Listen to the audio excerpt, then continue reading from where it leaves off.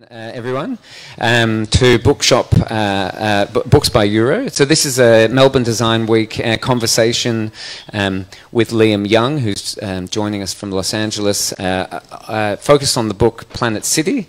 Um, I'm joined by Liam and Stuart Geddes. Stuart designed the, um, the, the book. But before we begin, I'd just like to acknowledge that we're gathered today on the traditional lands of the Wurundjeri of the Kulin Nation, and I would like to pay my respects to um, their, their, their, elders, past, present, and emerging. Um, and as we're live streaming today, of course, I would like to extend that uh, acknowledgement to um, all Indigenous people uh, across the lands uh, where people find themselves today, and to acknowledge that all design and architecture uh, that takes place in Australia takes place on Indigenous land. Liam, um, it's lovely to see you um, all the way over there. Get your camera right. We've got good vision. And um, we'll just check that we can hear you okay. Okay, while we fit sort this out, I'm going to introduce um, Planet City, and uh, we've got an excerpt of the film. So this is a... Um, uh, Liam works as a speculative architect, um, and his main medium is film um, and moving image. And uh, about two years ago, uh, the NGV uh, commissioned Liam to produce a film called Planet City. And this started uh, through a conversation with Liam, really about um, how we could uh, produce a work that would draw attention to the um, to a, a, potential scenario that responds to the climate crisis. So this um, film is uh, part of the NGV Triennial. For some of you may have seen it. It's on the ground floor at the Triennial at the moment. It's a 15-minute animated film produced by Liam and his team. Um, and we'll talk to the film in a minute, but uh, we've got an excerpt from Liam uh, uh, that just sort of sets the scene. So we'll play that. Thank you.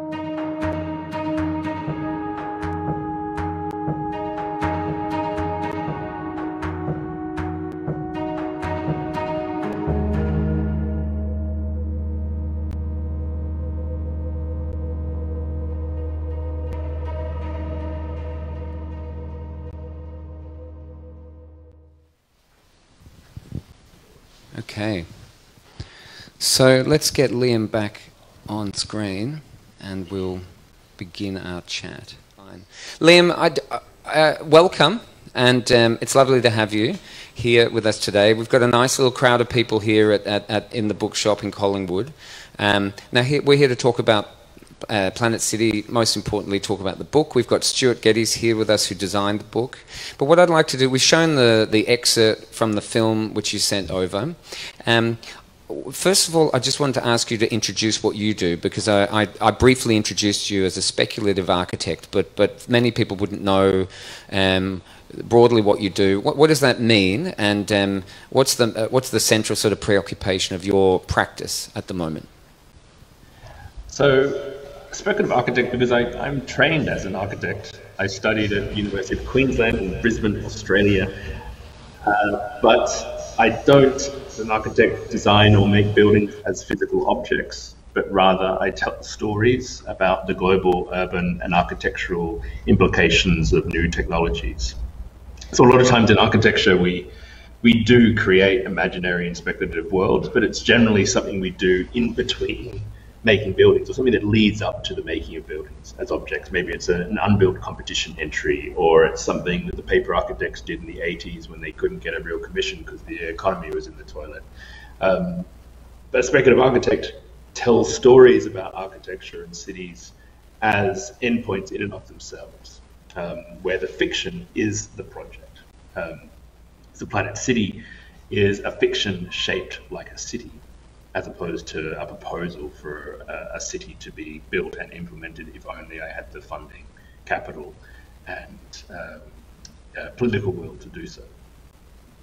Uh, so I guess our interest has always been in trying to develop and prototype um, what speculative technologies, emerging technologies, I should say, uh, how they're changing our lives. Um, and we treat film and performance. We, te- we treat fiction as a kind of site. In the same way that an architect might treat a vacant block of land as site, we treat the landscapes of a film, the thickness of a screen as a site, and we make work proposals um, that exist in that terrain, on that territory.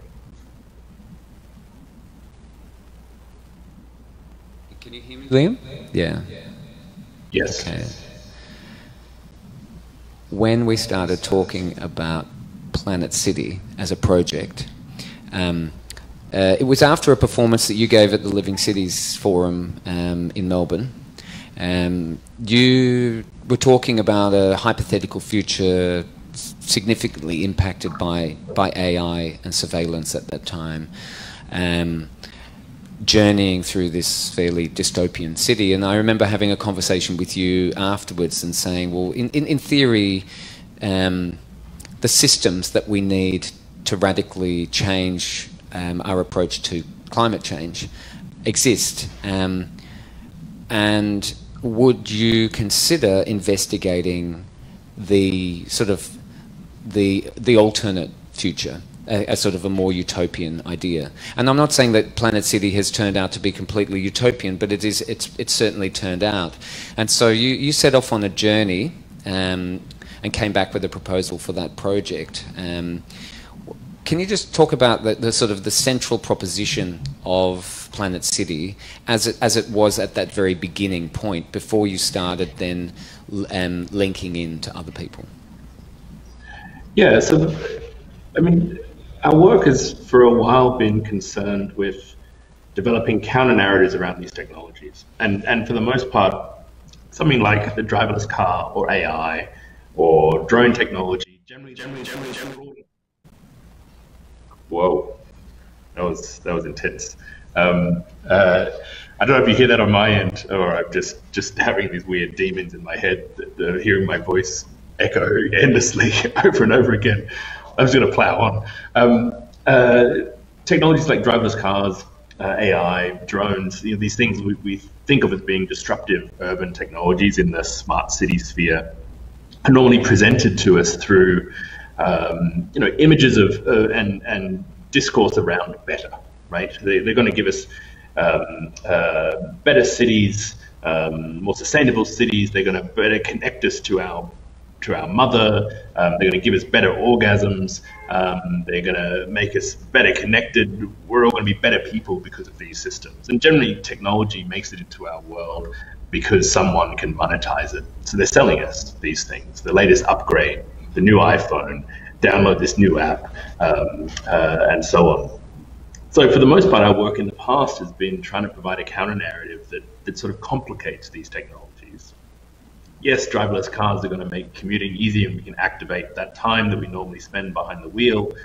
But at the same time, it fundamentally changes the nature of what a street is. Um, let's talk about that. Um, it fundamentally changes the nature of center and periphery. Let's talk about that.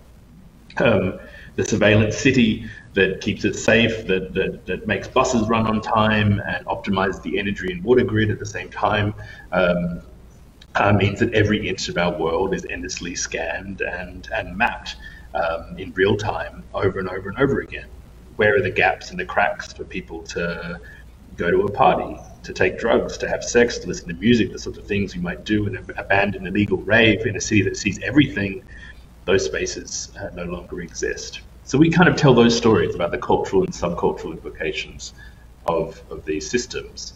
Um, and generally, because of the dominant media narratives through which they make into make these technologies make it into our lives, um, that means we generally have been skewing towards the dystopian. Um, but uh, in the context of climate change, um, constantly being berated with with with you know how our world is is on fire, um, and especially in 2020, which is the you know really when we're actually making the bulk of Planet City, we were living out a live action dystopian film. Um, watching ap- apocalypses unfold in front of us several times over, the counter narrative that seemed valuable to be putting into the world was actually an optimistic one. It was to say, well, what happened if, you know, we we move beyond any kind of hope that nation states are going to act in a meaningful way about climate change, um, and we we lean into global movements like the Global Climate March or the Women's March or the Global Climate um, Strike. You know, these are gatherings of human bodies that have at scales that have never existed before, uh, mobilized through a hashtag through a social network page, um, instigated by the um, you know the, the pervasive, um, seductive speeches of 15-year-olds. Um, what would happen if we formed a global consensus that said, "Well, enough is enough. Let's try and do something. Let's let's live in a different way. Let's imagine cities differently." And Planet City, you know, a speculative city for the entire population of the Earth, was born out of that sentiment. Um, and I think in the book I mentioned in my introduction, you know that I, ref- I refer to um, uh, the narrative when um, a group of authors all got together in Byron's Lake House in 1816, the, the year without summer, um, uh, just after the, the volcanic eruption in Indonesia kind of blocked out the sky and, and the rest of the world was, was cast into a global winter. And that's where um, Polidori, the, the Shelleys, you know, got together, bunkered down in this winter slash summer, and they invented what we know as modern horror. You know, that's where the Dracula mythology and stories were born. That's where Frankenstein first emerged. So in these moments of darkness, um, strange literary fiction and experiments start to emerge. And you know, if, if 1816 was the year without summer, then 2020 is in some way a year without end that we're all living, at least maybe not um, in Melbourne. You seem to be going about your lives quite normally, but, but here in LA, certainly um, we're still in March last year. Um, what would it mean to kind of make, to, to, spend time during that year making a different kind of fiction, um, an optimistic fiction? So, you know, utopian and dystopian at the same time, but a different vision of what a climate future could be, that one that prototypes the necessary changes that we might have to go through um, in order to uh, maintain what we think of as human life on this planet. That was the sentiment. Okay. Sorry for the ramble. Liam, the, what's what's quite important, I suppose, in the context of talking about the book as well, is that the uh, the commission from the NGV was for a film, and then once we got in a certain point, um, what was quite interesting is that the way you approached this idea of building a fiction, you wanted to do that through some form of consensus, of reaching out to a lot of different people, because of course, Um, you know, a, a, counter proposition, say, for example, that's circulating at the moment is the sort of Bjarke Ingels Master Planet project, which has been released as this kind of um, master plan for Earth, um, which is sort of an imposed system, a technological imposition, perhaps another sort of colonial construct. You were very conscious of, and we talked about this, the sort of the cultural, political, economic dynamics of this, as a, and, and it, it, for it to actually stand up as a proposition, it needs to be grounded in these things. So, um, and this this sort of leads us to the authors in the book, etc. But um, can you just talk through, like, who were the first people you, you went out to to sort of start going, okay, and, and because it's sort of an interesting mix of people. The, the, the, you've got, you know, from, from fiction to reality, from pragmatics to kind of um, poetry. It's a very, very diverse group. But so where did you start and, and, and what was sort of motivating you on that, on that journey? And when did you feel like you had enough? Yeah, it's a the way that we approach film or story is is as spatial designers, right? Like I really think that architecture is is just a craft of constructing stories in space. So when we make films, we're we're not approaching it the way that a filmmaker or a scriptwriter might do. We approach it as a world builder. So Planet City is yes a film, but really it's a world that can be outputted in a whole lot of different mediums. World building is essentially medium agnostic. So Planet City as a world um, is a film in the NGV triennial. It's a book. Um, it's potentially a documentary series, a comic book, uh, a physical installation, a set of costumes and masks. Um, so we are trying to think of it in those terms.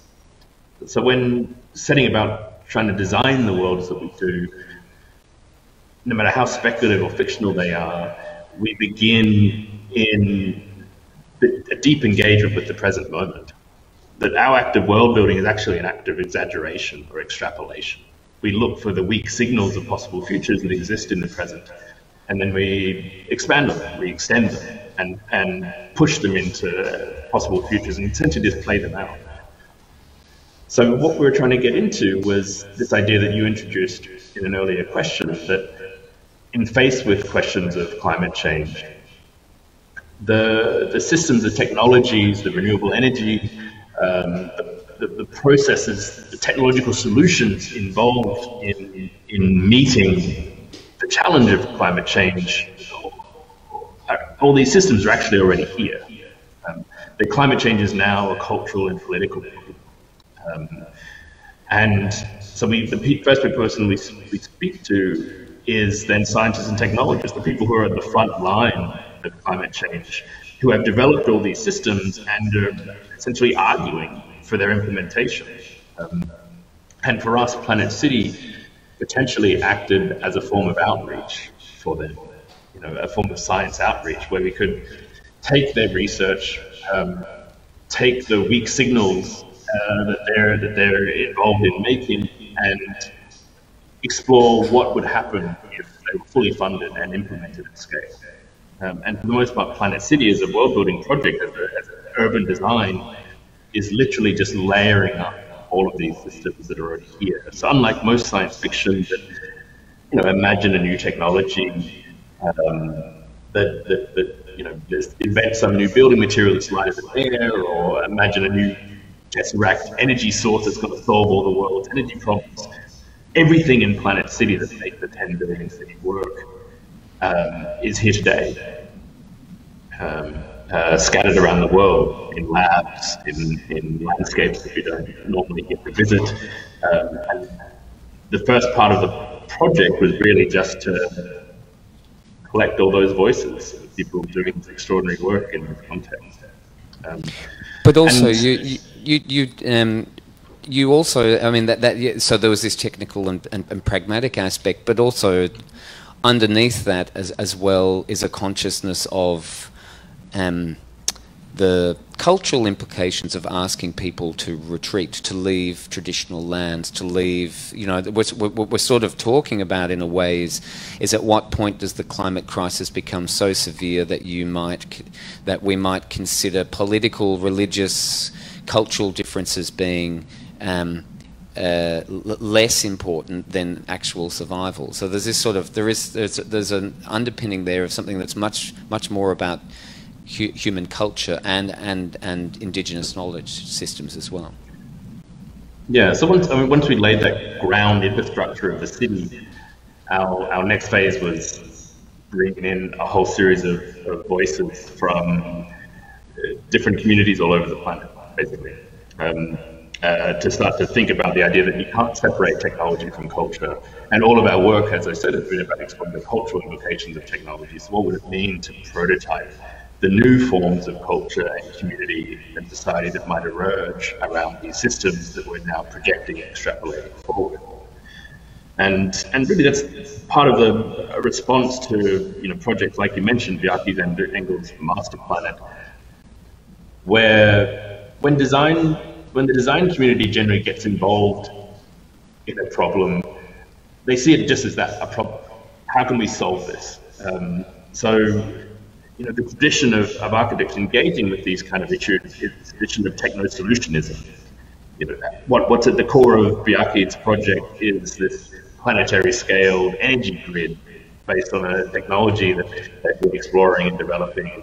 Um, and it's just one more imposition uh, to say that, hey, we've invented this new thing, this is going to solve all our problems, and at the same time, totally denying the, the, the socio-cultural, historical problems that led us to this condition in the first place. No, no technology is any kind of solution to that. Um, so any project that engages at this scale, engages these project, pro problems at this scale, that only deals with them as technological problems to be solved um, denies the potential of, of uh, you know, seeing where the real battle is, which is which is in cultural change. Um, and that's what we tried to do. So the, the Planet City project is planetary in scale in that it brings together voices from all over the world. You know, we have um, folklorists from uh, all different countries. We have authors from uh, from two authors from China, one Caribbean Canadian author, one Indigenous Aboriginal, Indigenous Australian author, um, one uh, uh, American author, as well as um, theorists from uh, that, that, are connected to Native American culture and so on. The idea is to bring into a science fiction project all of the voices that are typically excluded. Um, especially in a town that I'm looking out my window now at LA and Hollywood, you know, for them, science fiction, both utopian and dystopian projects, are seen through a very particular narrative Western lens. Um, and we were trying to open up what Planet City is a project and a world and a fiction to include the sorts of voices and challenges and narratives that are generally excluded from that context. And when we reached a sort of a midpoint within the project where the film was sort of in development. Um, I mean, I should point out you the film features costume design by Ane Crabtree. Um, you've got a, you, you brought on a, a, whole team of collaborators to help use photogrammetry to insert characters within the film, and the film follows this sort of procession through through the different. Um, uh, areas of Planet City. So, but when you watch the film, what's interesting is um, the the film's quite an abstract experience. It's a beautiful experience. The sound is very immersive, and the it's it's been a really well received part of the triennial, um, and. But the book becomes then much more essential to unpack because the, the reality is that you all of this research that was done um, you know, there's a there's a sort of um, we talked about a sort of handbook or an instruction manual or something. Now the book hasn't manifest in terms of this. It's not it's not a, a sort of utilitarian guide to how to build Planet City, but it is um, in a way a guide to the different voices that would matter to, to make this possible, the types of voices, the, the diversity of voices. Um, so let's move to the book and talk about that more specifically. I mean, I'm conscious we've got Stuart Geddes here who designed the book. Um, um, it's an interesting little book. One of the, one of the things you mentioned scale, and the and the thing that's interesting for me in a way, just in, in that idea of object making with with the book itself is that the film is epic in scale, but the book is um, is really quite. Um, uh, you know, it's quite compact. It's this, it's, it's, this chunky little thing, and you talk about science fiction in a way.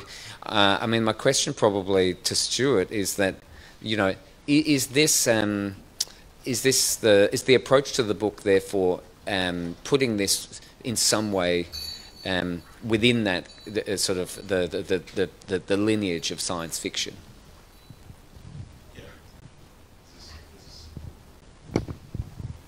Hi. um, yeah, I think it, I think it's very it's very much um, uh, it. Uh, the book picks up on a lot of these conversations that that um, uh, that you've been having already for, for very obvious kind of reasons. Um, and I think one of the uh, one of the things that emerged pretty early as a as an idea was that rather than think about it as some kind of art or architecture book, thinking of it like using the same kinds of um, uh, economies and scales and systems that we would use to make a book like that, we could um, uh, compact, like crush that all together into a much smaller, much fatter, kind of chunky um, sci- fi paperback. Um, and I think by by by doing that, like um, kind of poetically doing a number of the of the um, the things that Liam's already talked about, of like assembling all of these voices, putting them together, and and playing on a, on a, on a line, I guess, between um, uh, making a, a, series of kind of pragmatic decisions um, uh, with to do with the printing and and and using that to create these kind of poetic outcomes, like the way the the um, the text is almost one book, like all, sorry, all of the text, all the voices are, are, almost one book, and then all of these image sequences from um, that are that are from the world are they're just dropped in where they where they drop in, and so you get this kind of this um, this lumpy kind of um, uh, ideas and spaces kind of bumping together um, to to create kind of interesting frictions. And Liam, um, when you started talking to Stuart, um, you know, I mean, the the the, the interesting thing. I mean, these the images that are a very important part of the project. I mean, it, can you just talk through in terms of the photography that you did and the characters that were created? Who are who are these characters um, within uh, within the film, within the book? Um, you know.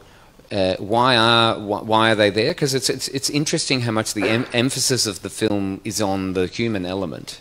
Um, when I think perhaps uh, from a when we were discussing it at an early stage and also looking at your earlier work, um, I think we had an assumption as an institution that it would be um, much more about the urban form and the kind of um, you know the, the, the built outcome, the technology. But you, you it, it's so it's quite a big shift for you. Why was that? Um, why was that important? And in a way, it seemed that once you went in that direction, then you sort of went way further into that um, that that area. So it obviously really captured your um, imagination. Yeah, again, it, it's trying to create a, a, counterpoint to the other future visions of cities that, that exist out there in the world, right? Like generally, Hollywood loves a dystopian cyberpunk future because it, it, it lends itself to a traditional Western hero's journey, right? Um, there is always the hacker, the revolutionary that can uprise against the mega corporation, the evil politician that's trying to you know oppress whatever uh, city they're in charge of. And it makes for a good story. It makes for a lot of stuff that gets blown up, and um, you know, a, a, vehicle for Tom Cruise or Harrison Ford or whoever it is. Um, in trying to express a city that's that's more aspirational what are the count? What are the other narratives that start to play out in that context? The reason why Hollywood hates a utopia is because it's really hard to tell a story in a place where everything's kind of okay. You know, um, where, where's the conflict? Um, where's the big character arc that you can start to build? So we, we took on this idea of capturing the city in a moment of celebration or festival as our form of kind of human narrative. Um, so it wasn't about some sort of revolutionary uprising, but rather it was a moment of celebration, a moment of carnival. Um, one of the early kind of experiments we were doing in the city was uh, mapping all of the cultural festivals and holidays and, and celebrations that would occur all over the world on a, on a, on a calendar. Um, and you end up with this extraordinarily dense calendar where there isn't a single day without some kind of festival or celebration. What it means if you collapse all that together into one place, then you have this eternal party. Uh, so this idea of, a, of an endless festival cycling through the city on a 365 day loop became the, the form and the, the human narrative that we started to build the film around.